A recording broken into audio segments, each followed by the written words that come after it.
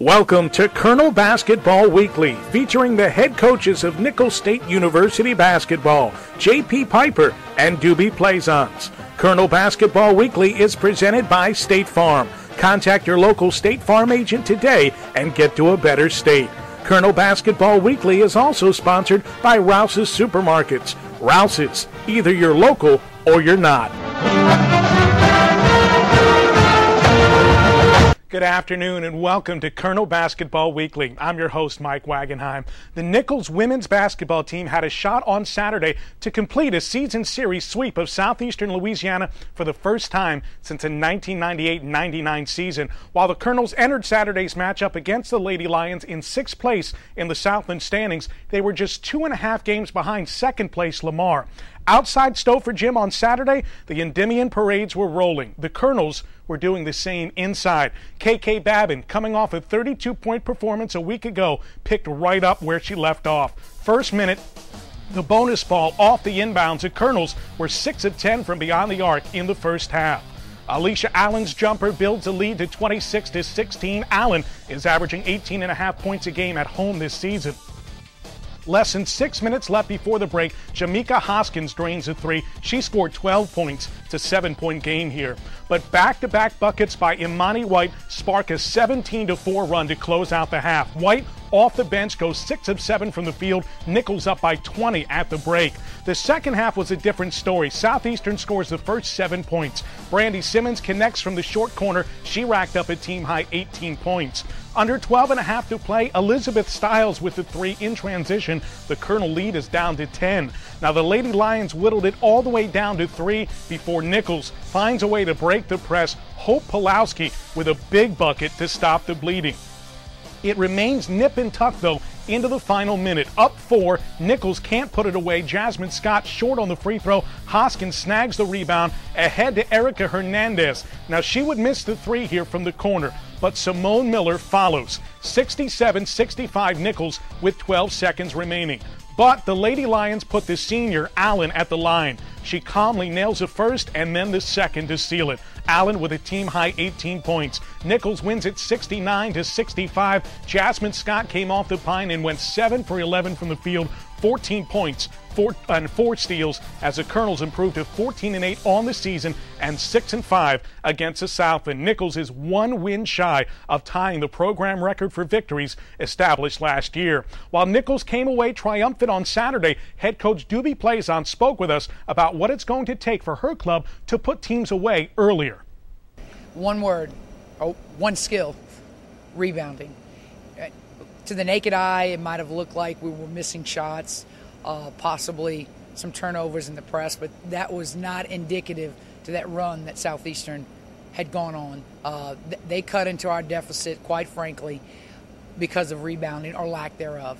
Know, we have to be far more aggressive offensively, um, obtaining more possessions for us, as well as on the defensive end. We just can't give them second and third shot opportunities. The percentage will be in their favor. And then one one scout uh, differential in the first half. The scout was to front and not give them those touches, and on the block. And for whatever reason, we were not fronting. So when they got those touches or received those touches, they were able to get to the free throw line and uh, put us in foul trouble. So that was indicative also the attention to details and then just rebounding. You know, rebounding at the end of the day, you know, we, we want to win this championship. We want to make a run for this championship. It's all about the rebounds at the end of the day. We because we're we're right now we are sitting at the top in terms of percentage from the field and three pointers made. We have the offensive package. We need to rebound. Did I have I mentioned we need a rebound? you, you, I think you might have mentioned it once or twice. I'm sure you'll keep preaching it to your team, though. Even at this late, late stage of the season, you're still tinkering with your lineup a bit. And Jasmine Scott, last few games, has come off the bench. What a performance she had on Saturday! Absolutely, and she was she was one that she's had a good week of practice this week, and I'm very excited about her in terms of her production. And you know, coming off the bench, not that she's comfortable there, but it might give her a little bit of time to get into the flow of the game. And but you know, between her and Imani White coming off the bench, you know, arguably those could be two starters. Also, I have seven starters. you got Stephen F. Austin at home this week, along with Northwestern State. You saw these teams on the road a couple of weeks ago. Came away 0 2. How do you come away 2 0 after this week? With Stephen F. Austin, what we need to do is we need to ensure that they turn the ball over and because um, I, I, felt like our press and our defense was very effective against them, and we did force a lot of turnovers. We just have to convert off those turnovers, and we didn't necessarily give up a whole lot of threes against Stephen F. They were contested, but for whatever reason, they were going in. So we have to make sure we uh, contest their threes squared, so they don't get those threes, and again convert off their turnovers. Because I was very, very I was very excited about the effort our women gave down uh, at Stephen F. and you know, I, I believe I believe that tonight's going to be a different outcome. How about Northwestern State here on Saturday? I have to give it uh, to uh, that coaching staff over there. They're a new coaching staff. Uh, Brooke and her husband has come in there, and, and, they're just doing an excellent job. And I don't know what's going on in uh, at, on their home court, but they, they have everybody's number down there. But uh, they're a team that, that they're on a roll right now. They're playing well, and you know they have a, a guard. Um, uh, their their guard play is, is picking up, and you know it, it's just going to be. We, we, had I think two. I want to say two uh, runs on them we we were up by double digits at their place, and again we let that go, and we just have to make sure that we can get the runs and then sustain the runs and just not get complacent with them. That game against the Lady Demons coming up on Saturday at 2 o'clock with the matchup with the Lady Jacks tonight. You can watch it live on ESPN3 beginning at 5.30. Thanks so much for your time, Coach. Thanks, Mike. Head coach DoBee Plaisance. Right now, we're going to send it to Pamela Johnson, who has a roundup of what's going on around Nicholls Athletics. Last week was an important time for the Nicholls State University football team, as well as college football teams across the country. All the drama and anticipation came to an end on National Signing Day as the 2013 signees were announced. On Wednesday, the Colonels football team held its annual signing day event in the Century Room in John L. Guidry Stadium. The event was free and open to the public, and those in attendance had a chance to mingle with members of the football staff. Head coach Charlie Stubbs introduced the 2013 class through commentary over video highlights of each future Colonel you know, I feel very good about the 17 that we got because they were thoroughly recruited. Uh, what I'm talking about by there is we've been on most of these kids for well over a year. Uh, they we got to know them, got to know everything about them from not just athletic ability but academics. Their you know really desire you know to be excellent in the classroom, to their character, and uh, and their desire to really want to be here. And so I feel very good about it. Uh, it's the first stage of our recruiting efforts, but we'll do some more. And I am always patient, but I feel very good about these guys, and I feel like it meets many of our needs. It's, it's a tremendous class. Um, we've got some, uh, first of all, some great young men. Secondly, some excellent students, and then thirdly, which is obviously important, uh, some excellent football players. So, you know, I'm very pleased. Uh, I think uh, you know after signing day, they all when the papers came in, the stress level dropped a little bit. Um, I mean, it never drops completely, but it dropped a little bit. So, so I feel pretty good about these guys. The Nicholls baseball team hosted its yearly alumni game and first pitch banquet on Saturday. The morning festivities consisted of games played between alumni, staff, and current players at Ray E. Didier Field in Thibodaux. It's a great event for Nicholls baseball to get all the uh, alumni to come out here and get a chance to play with the guys that played from even back in the 70s. Get a chance to see some of the ex-pros that played for Nicholls, and uh, everybody's got competitive juices in them, and uh, you just hope everybody has a good time and doesn't get hurt. Uh, this is a good time, and, and Seth Thibodeaux, the head coach with the uh, Colonels, has done a great job of bringing all the former players back and welcome them back to the to the fold, so to speak. And it's it's a good thing because a lot of these guys I hadn't seen in you know 20 years.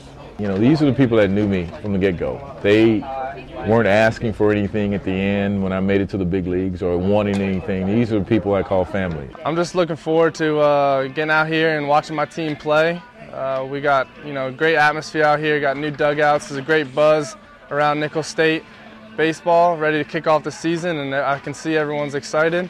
Today was great. Uh, you know, it's the second time we come out. Actually, second time I came out last year. You know, we kind of kicked this thing off again, and some of these guys you don't see whenever you walk off campus for, for 20 years, and you know, whenever Seth reaches out to, to everybody to come out for a function like this, it's good to see everybody get back together. The first pitch banquet was held that evening in nearby Gray. Legendary college baseball coach Skip Bertman, a college baseball Hall of Famer who won five national titles at LSU, served as the guest speaker.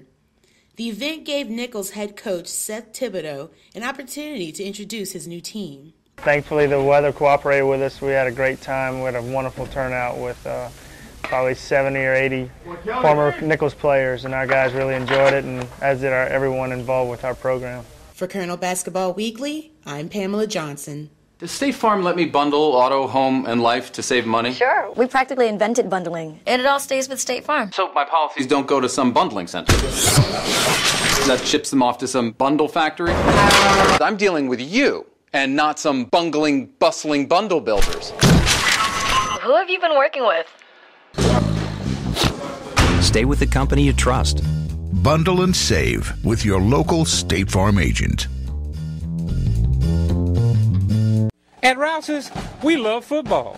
We love the players, we love the fans, and you know we love the food. So whether it's high school, college, or pros, if there's a game, we're tailgating. You can tackle your tailgate too with one stop by Rouse's. Get Rouse's ready to grill meat, chicken, and pork, or pick up Rouse's ready to serve tailgate specials. Everything is made fresh for the game, and you know it's all good. So get the home field advantage every time you shop. Shop local. Shop Rouse's. Now that's tailgating. Nicholls State University is taking education on the road, the information superhighway. If you are unable to come to campus, we are bringing the campus to you. Study at home and graduate quicker with Nicholls Online. No more going to class around the school's schedule. Go to class online around your schedule. All of your courses are taught by qualified Nicholls State University professors who are experts in their fields. To take that step, go to nichols.edu slash nicholsonline or email nicholsonline at nichols.edu. The bond between mother and daughter is special, but it's especially so for one all American family. Bound by their passion for basketball, while mom builds a program, her child is building a legacy. From one university to another, their relationship stays strong. Nicholls women's basketball head coach DoBee Plaisance and her daughter Theresa, a star forward for LSU and an SEC Player of the Year candidate, share a connection that revolves around more than just hoops. I have a great relationship with my mom. She's like my best friend. I talk to her every single day, usually at night before I go to bed. And, um, you know, my mom's always been there for me growing up, and she's uh, always worked her hardest to try to give me and my brother the best life we could possibly have. As a kid, you know, sometimes she wasn't there because she was out like recruiting and stuff, but she never like once did we have a night that we went without a phone call from her or a text from her saying how much she loves us and all that. I wouldn't consider us friends, and I don't consider us um, like she's afraid to approach me. It's whatever you want to call what's ever in the middle. It could be, I just think it's unique. X's and O's are a small part of this relationship. To DoBee and Theresa, it's bigger than the game. You know, my mom's a very hard worker. My mom does everything and anything she can to better herself and her program. So I think what I've taken from her is just to give it my all because, you know, that's the only thing you can do and work your hardest. Because if you don't, then, you know, you never know how good you could possibly be. You never know the opportunities you may get. They will not be remembered for the amount of points they scored in a game or how many accolades was thrown their way in terms of awards. They're going to be remembered for their character, they're going to be remembered for their values, and they're going to be remembered for the type of person that they were in terms of giving back to other people. And that's how I've always uh, raised my kids. That's how I was raised. That, you know, it, it's, it's about giving back. That if, if people can just realize there's so much, you feel so much in giving. You know, so much comes back to you when you give. And um, that's sort of how I've raised both my children. And, and Theresa is, is turning out to be, at this point, I mean, she's a young buck. She's just 20 something years old, so I have a few more years to go with her. But if she continues on this track, you know, um, you know, I told her when I dropped her off at school uh, at LSU, I said two things. two things out of this whole journey. A, you're going to leave this place with a degree. And B, you're going to go to church on Sundays. After that, everything else is lagniappe.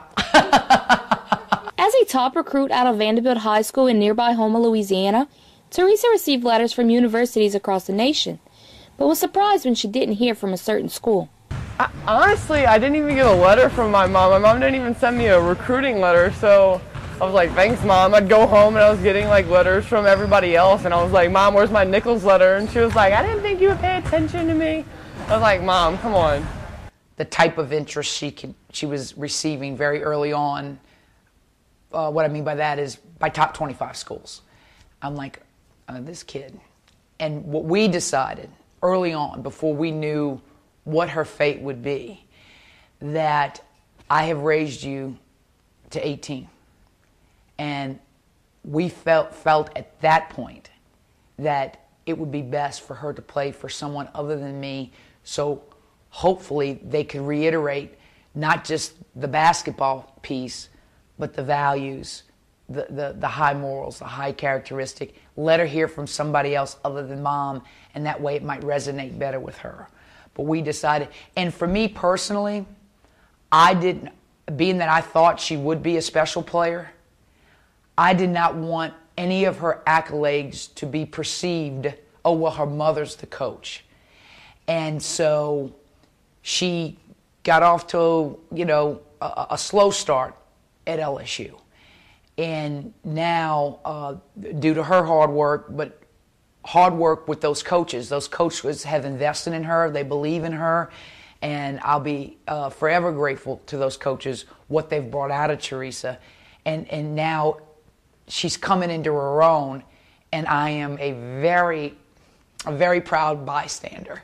And it can't be said, it can't be said that, oh, it's because her mom's the coach. And that, to me, was the biggest piece. I would have loved to have coached her, and um, I think she would admit that she would love to have been coached by me, but at that point, she just needed to go out on her own. While Nicholls and LSU are just 70 miles apart, they haven't played each other since Theresa's freshman season at LSU two years ago. That is by design. DoBee doesn't want to face the prospect of coaching against her daughter again. And the type of person that I am, whether I'm playing LSU, UConn, Notre Dame, or whoever it might be, I expect to win. And we're going in there, you know, guns a blazing, trying to beat this team. Okay? Reality sits in many times. Okay? However, um, in preparing for that game, it was very uncomfortable because in the moment we did everything we could to beat LSU on that occasion. As a mother, you never, ever want to see your children fail at anything. And the thought of having her in a scout, and this is what you have to do to shut down your child, it was too conflicting for me. While hoop season is in full swing for the Colonels, the stars aligned just right last Thursday as Nicholls had the night off, while the Lady Tigers hosted SEC rival Tennessee in a big matchup. While DoBee doesn't get to take in many of her daughter's games in person, Thursday was a night to escape from coaching mode and turn into mom. Here I get to sit down and I can be a real fan, it, it, it is more of a, I don't know, a sentimental type thing out here. I don't get to see my kids play much, either one of them, even my little Scotty. but so when I do, I'm just grateful to be in the same building with them sometimes, because the majority of the times I'm not even in the same state as them, you know? With Theresa registering eight points and three blocks by halftime, her mother took time in between cheers to break down her performance. She's down there encouraging and talking to her players and doing a lot of instructing. And that means a lot to me, not only as a mother, but also as a coach, because every coach needs a great floor leader. And um, right now she's hitting her free throws. The only one she missed was the one that I jinxed her on. And uh, she hasn't missed a block out, and I'm not sure if she's missed a, block, uh, a defensive assignment. You know, that she's 50% from the field, so overall the effort's good. Ultimately, LSU suffered a devastating loss to the 12th ranked Lady Vols. Despite a near double double performance, Theresa, the SEC leading scorer, missed a late free throw in LSU's two point defeat.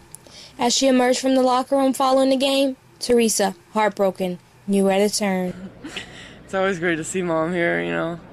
After a close loss like that, it's always nice to hear what she has to say afterwards. It's always positive and uplifting. So it's nice to have my mom here. She had to hang in there, and you know, games like that, there's nothing much you can do. So just hang in there and give my best next game. And what else did I tell you? You love me. you can tell people that. the relationship between this mother and daughter duo is like no other. Whether it's on the court or off, it's all love and basketball. It could be a while though before they catch up with each other again.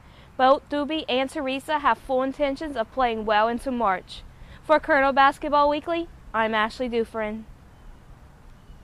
Thanks, Ashley. And some positive news did come later in the week. On Sunday, Theresa led her team to an upset of ninth-ranked Georgia. Time to turn our attention to the Colonel men. Nicholls was set to take on Southeastern Louisiana in a pivotal game in Thibodaux this past Saturday. Only the top four teams in the Southland standings receive a bye in the league tournament. And if Nicholls picked up a win over the Lions, they'd find themselves in a tie for fourth with seven games to go. A loss, though, would drop them to sixth and would give Southeastern a series sweep and therefore any tiebreaker over the Colonels. Nicholls would go without starter and captain Jeremy Smith, who was ill with the flu. Fred Hunter would carry the load. The Southland's reigning Player of the Week put together scoring efforts of 33 and 36 points last week. And he was Johnny on the spot early in this one. Opening minute, Dantrell Thomas going baseline, misses a fadeaway, but Hunter with his stick back. However, that was just one of eight made shots for the Colonels in the first half. And LSU takes it, or SLU rather, takes advantage. Brandon Fortenberry hits the three. And Southeastern up a dozen at the eight minute mark, part of a monster game for Fortenberry. Nicholls down as big as 18. Amin Torres was a saving grace. He scored seven points in just six first half minutes on the floor. But this play summed up the opening stanza. Final seconds, the Colonels look to roll the inbounds pass to conserve time, and Southeastern steals it. Fortenberry nails a three. The Colonels simply shook their heads. Fortenberry scored 30, going 5 of 8 from downtown. The Colonels came to play in the second half, though cutting the deficit down to single digits before Roosevelt Johnson converts. He had 10 points and 8 boards. Nicholls keeps chipping away, though. Torres out of a timeout, making it happen, just steps right up and cans a three. He scored 13. That was his fourth straight double figure scoring performance. Colonels cut the deficit to six, but Fortenberry strikes again. He's given an inch, and that was just too much. Nicholls would never get closer than six points. Hunter finished up with 20 of his own, six of nine from the field, seven of seven from the line, nine boards. He still leads the league in scoring, but the Colonels fall 73 to 62. Nicholls dropping to sixth place or six and 15 overall five and six against the league. The Colonels host first place Stephen F. Austin at 7:30 tonight on ESPN3. The Lumberjacks own the nation's number one defense. Saturday, Northwestern State brings the country's number one offense to Thibodaux. Head coach J.P. Piper will need his team at full strength. Without Jeremy Smith last Saturday, the Colonels simply weren't the Colonels. You know, you realize how important Jeremy is to our team. Um, you take that one guy out, and he's he's our captain, but he's a guy that plays with energy. He's a defensive stopper for us. So you take him away, and uh, well, we look like a ship without a rudder at times. There were moments where we looked good, but the overall product was poor. Um, so you know we got to get Jeremy back in there healthy, and um, we just got to get focused on guard. We weren't good defensively for long periods of time, and you, you allow runs. Um, and uh, it's probably the first time this year where I didn't think we looked like ourselves. We just had a bad night. Everything went wrong. That play at the end of the half kind of summed up the night it was going to be. Um, you know, so you just you got to let that go. You got to focus on the next one. Uh, unfortunately for us, the next ones are going to be pretty difficult. Um, but you just keep moving ahead. Several more opportunities to play games, and we just we got to focus on the next one and let the last one go the schedule does you no favors in the short term. You've got the two hottest teams in the league coming to Thibodaux this week, but four out of your final seven games are against the bottom three in the league. So this is really hump week for you here. Yeah, and it's at home. So, you know, if you're going to do something special and pull an upset, eh, this would be the place to do it. Make shots at your home court. Hopefully, your opponent doesn't come in and shoot the ball particularly well because they're on the road.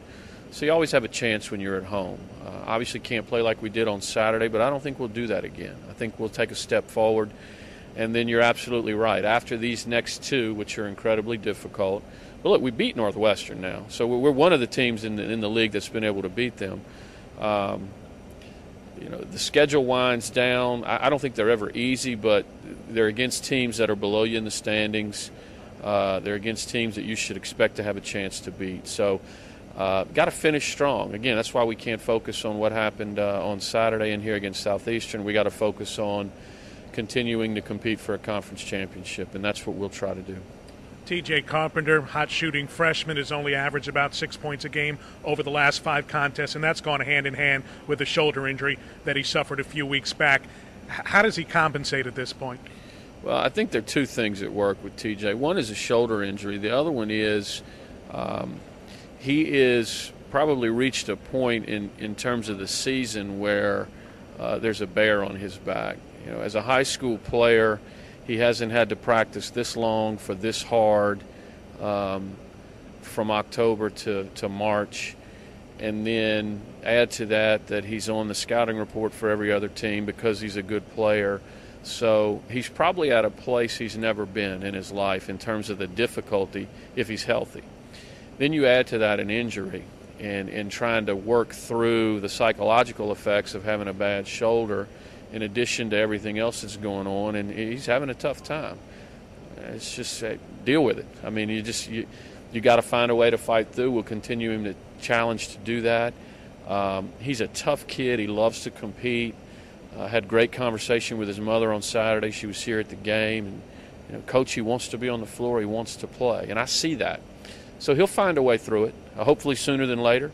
Um, as long as he doesn't give up and quit competing, I think he's going to be all right. All right. Best of luck tonight, Coach. We appreciate your time. Thanks, Mike. Appreciate it. Head coach J.P. Piper. His Colonels take on Stephen F. Austin. You can catch it live on ESPN3 beginning at 7:30 this evening. We'll be right back with more Colonel Basketball Weekly presented by State Farm Insurance in just a moment. Does State Farm let me bundle auto, home, and life to save money? Sure. We practically invented bundling, and it all stays with State Farm. So my policies don't go to some bundling center that ships them off to some bundle factory? I'm dealing with you and not some bungling, bustling bundle builders. Who have you been working with? Stay with the company you trust. Bundle and save with your local State Farm agent. At Rouse's, we love football. We love the players, we love the fans, and you know we love the food. So whether it's high school, college, or pros, if there's a game, we're tailgating. You can tackle your tailgate too with one stop by Rouse's. Get Rouse's ready to grill meat, chicken, and pork, or pick up Rouse's ready to serve tailgate specials. Everything is made fresh for the game, and you know it's all good. So get the home field advantage every time you shop. Shop local. Shop Rouse's. Now that's tailgating. Nicholls State University is taking education on the road, the information superhighway. If you are unable to come to campus, we are bringing the campus to you. Study at home and graduate quicker with Nicholls Online. No more going to class around the school's schedule. Go to class online around your schedule. All of your courses are taught by qualified Nicholls State University professors who are experts in their fields. To take that step, go to nichols.edu slash nicholsonline or email nicholsonline at nichols.edu. It's time to announce our Rouse's Student Athlete of the Week, sponsored by Rouse's Supermarkets. Either you're local or you're not. Rouse's Supermarkets are local with their roots established in Thibodaux in 1923. Trust Rouse's for great food and great values. Louisiana's best can be found at your local Rouse's or at rouses.com. Our Rouse's Student Athlete of the Week, senior men's tennis player Roy Knight. The Brit was also named the Southland Conference Player of the Week after leading Nicholls to two victories while going undefeated in his three matches. In singles, he improved to 3 0 in conference with a three set victory over Texas Pan American. He also picked up a straight set win at number four singles against Kennesaw State and number 60 Georgia State. That's going to do it for our show this week. We'll talk to you next Thursday afternoon here on Colonel Basketball Weekly, presented by State Farm Insurance. Today's show has been presented by State Farm. Contact your local State Farm agent today and get to a better state.